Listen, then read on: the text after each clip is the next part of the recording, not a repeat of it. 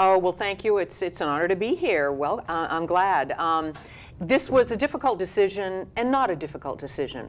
Um, I think what's been happening, the, I've been a commissioner for eight years now. It's been a joy. I've always said to everybody that this is a, a fabulous job. I love my job. And the I city's changed a lot in eight years. Absolutely. I am proud of everything that has happened in this city. I think about what has happened in the past eight years, let alone 20. I've been here 20 years. That we have the most fabulous downtown. Rosemary is rising. What we've done in the North, uh, North Sarasota. We've done so many good things in this community, and I'm very proud to have my name on some of the edifices that we have voted on.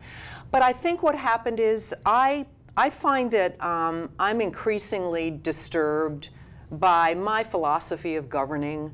My philosophy of governing, and I've said this at the beginning in my first campaign, there's a difference between campaigning and governing. That when you get up at the dais, you need to move to the center and try to look at the greater good for our city.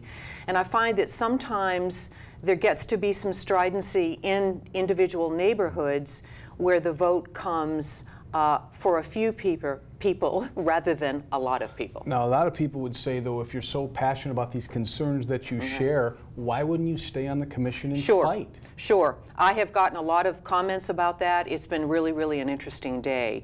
If you're so passionate uh, for this city, that's a burden that I think I can't take that risk right now. Number one, I don't know if I'd get reelected. A lot of people said, of course you would. I don't know that. Number two, I'm not sure who would be on the dais with me.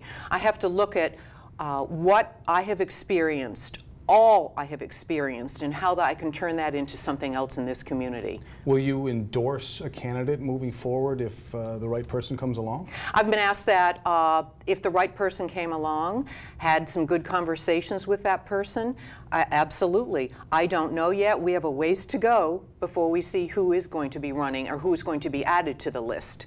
But it's a tough because I love this city. It is extraordinary, and I'm going to get involved in many things um, as I move on. Commissioner Atwell, thank you so much for joining us tonight. We really You're very welcome. it. Thank you.